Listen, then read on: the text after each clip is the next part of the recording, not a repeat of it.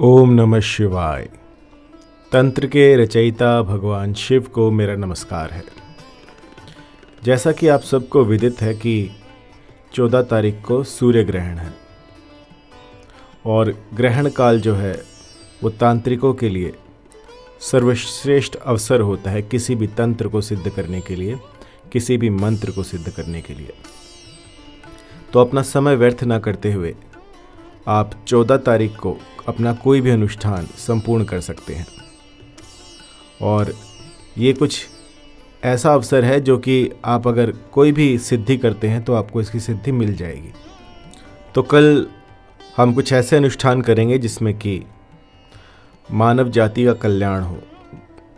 कुछ ऐसे प्रयोग करेंगे जिनसे कि आपको तांत्रिक प्रयोगों से बचाने के लिए कोई यंत्र बनाया जाए, कोई तंत्र बनाया जाए।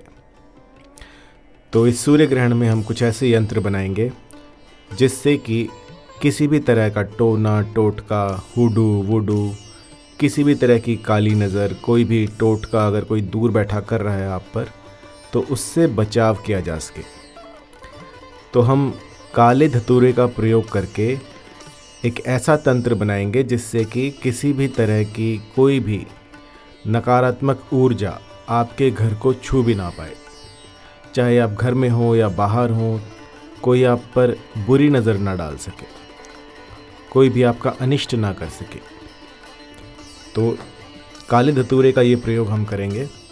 कल दोपहर 12 बजे और इसके बाद जो भी इच्छुक हैं इस यंत्र को लेने के, काले धतूरे के यंत्र को लीजिए और इससे आपके जीवन में कभी भी किसी भी प्रकार की कोई अनहोनी नहीं होगी। आपको लगता है कि आपके बहुत सारे दुश्मन हैं, आपका व्यापार बंद कर दिया गया है या किसी भी तरह की आपको नकारात्मक ऊर्जा अपने आसपास दिखती है। रात को सपने बुरे आते हैं और ऐसा लगता है कि आपके साथ साथ कोई चल रहा है। तो आपको इस यंत्र की आवश्यकता है। इस यंत्र को बस अपने घर में रखिए और जब बाहर जाएँ तो अपने साथ ले जाएँ। इससे जितनी भी नकारात्मक ऊर्जाएँ होंगी, वो आपको छू भी नहीं पाएँगी। इसको पहनने की विधि कुछ ऐसी है कि आपको जब इसे पहने जब आप बाहर जाएँ तो ये ऐसे पहनना है कि लोग जब देखें तो उनकी पहली नज़र इस यंत्र पे पड़े। इससे होगा ये कि कोई भी आप पर बुरी बला, बुरी नज़र नहीं कर पाएगा। और अगर रिमोटली कोई कोई सिद्धि कर रहा है, कोई तांत्रिक प्रयोग कर रहा है, कुछ प्रेत छोड़ रहा है आप पर। तो ये जो यंत्र है, ये आपकी 101 परसेंट सहायता करेगा। इसके साथ आपको कुछ नियम है जो पालन करना होगा जिनका। कभी भी इसको शौच में ना लेकर जाएँ। जब आप नित्य कर्म से निवृत्त हो रहे हों, उस समय इस तावीज़ को अपने से अलग करके रख दे कहीं पर, और फिर जब आप नहा धोकर फ्रेश हो जाएँ, तब इसको पहनिए। सोते समय इस तावीज़ को ना पहनिएगा। अपने पास में रखें और इसको सोते समय ना पहने। कई बार मैं देखता हूँ कि किसी पर ऊपरी होती है, आसेब होते हैं, जिन, जिन्नात होते हैं तो उनके लिए भी ये कारगर है। इस यंत्र को पहनने से, अपने पास रखने से इस भूलोक में जितनी भी नकारात्मक ऊर्जाएँ हैं, वो सब आपसे कोसों दूर भाग जाएँगी इस यंत्र को कभी भी शमशान घाट में ना लेकर जाएँ। अगर आपके रास्ते से शमशान घाट पड़ता है तो कोई दिक्कत नहीं है, लेकिन इस यंत्र को पहनकर आपको शमशान घाट में अधिक समय के लिए नहीं खड़ा होना है क्योंकि ये जो यंत्र है, ये नकारात्मक ऊर्जाओं को दूर करता है और शमशान घाट में न जाने कितनी आत्माएँ होंगी, जिनका अभी भी मुक्ति नहीं हुई है, जिनको कि अकाल मृत्यु प्राप्त हुई है तो उन सबसे बचाने के लिए इस यंत्र को कभी भी शमशान घाट में ना लेके जाएँ, वरना आपका या तो यंत्र गुम हो जाएगा या टूट जाएगा। यदि आपने यंत्र पहना हुआ है और फिर भी जब ना आप शमशान घाट गए हैं, ना इसका अपवित्रीकरण किया गया है तो भी अगर ये टूट कर गिर जाए, कहीं गुम हो जाए तो यूँ समझिएगा कि आपकी जो भी मुसीबत आने वाली थी, वो इस यंत्र ने ले ली है। क्योंकि ये तभी टूटेगा या गुम होगा जब आप पर कोई दुविधा आने वाली हो। अगर आप पर कोई बड़ा संकट आने वाला हो तो ये अपने आप टूट जाएगा, बिखर जाएगा टूट कर और इस यंत्र को हमेशा जब सूर्य ग्रहण हो, चंद्र ग्रहण हो, उस समय पर बाहर रख दें।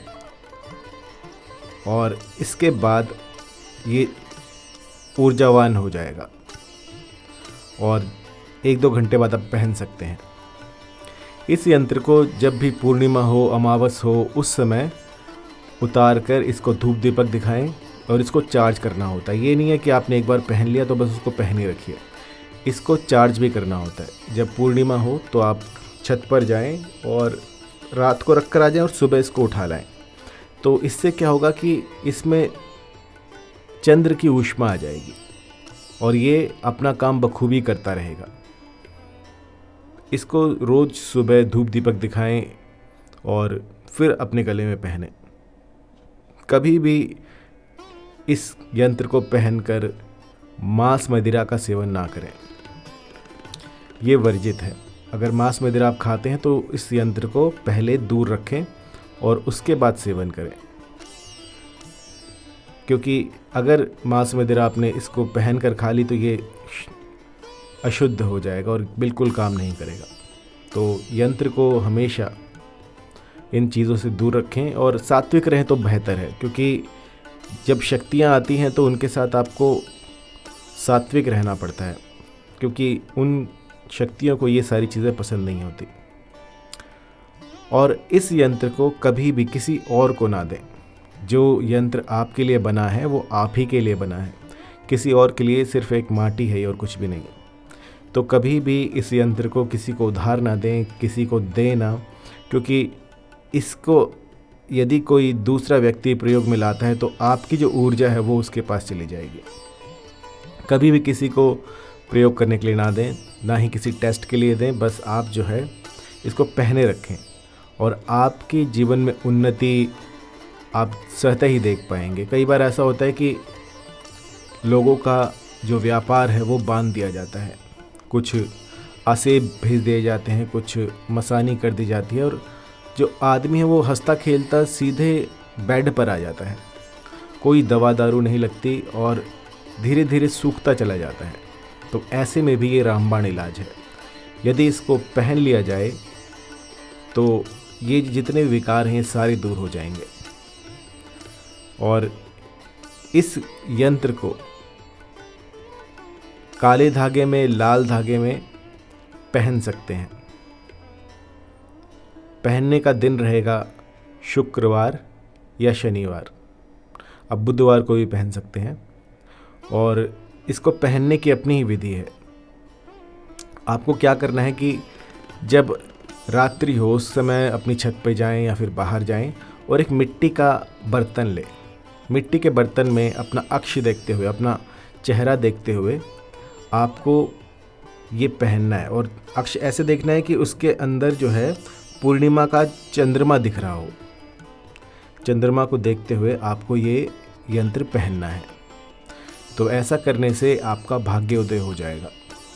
आपके बिगड़े हुए काम बन जाएँगे, बंद दुकानें खुल जाएँगी। यूँ समझिए, यदि आपने किसी ने आपका बंधन भी कर रखा है तो वो भी टूट जाएगा।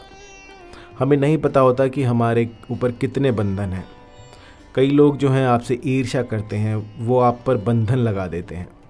और बंधन से ऐसा होता है कि जैसे आपने एक भेड़ को देखा होगा, एक बकरी को देखा होगा, कि उसको एक रस्सी, छोटी सी रस्सी से बाँध दिया जाता है। तो उसका जितना रेडियस होता है वो बस उसी जगह पर चक्कर काट कर वापस आ जाती है।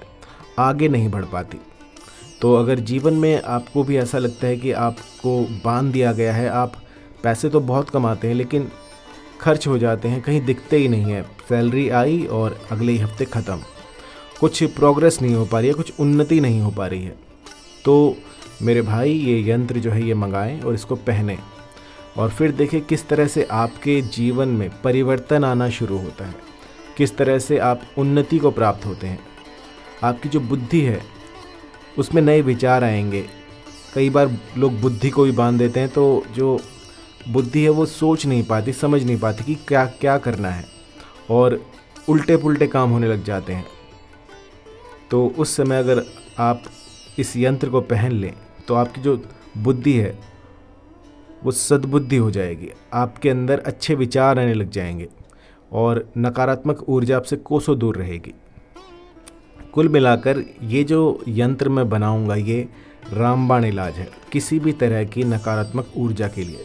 चाहे वो आसेब हो, जिन्न हो, भूत हो, प्रेत हो, या कोई दूसरे ग्रह का कोई ऐसी एंटिटी हो जिसके बारे में आप जानते भी ना हो और वो आपके पीछे लग गया हो। कई बार ऐसा होता है कि आजकल जो है, फ़ैशन बन गया है बहुत सारा परफ्यूम लगा लेते हैं, बहुत सारी सुगंध लगा लेते हैं और उसके बाद बाहर जाते हैं। तो इससे क्या होता है कि चीज़ें अट्रैक्ट होती हैं।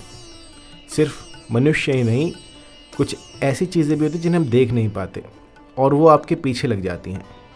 और इसके बाद जो है आपका जो कार्य है वो बिगड़ना शुरू हो जाता है। आपके बनते बनते काम बिगड़ने शुरू हो जाते हैं। तो ऐसी स्थिति में भी आप इस यंत्र का प्रयोग कर सकते हैं। किसी भी तरह की जानकारी के लिए आप कॉल कीजिएगा triple nine two eight four सोलह पच्चीस पर, और मुझे व्हाट्सएप कर सकते हैं इसी नंबर पर। धन्यवाद।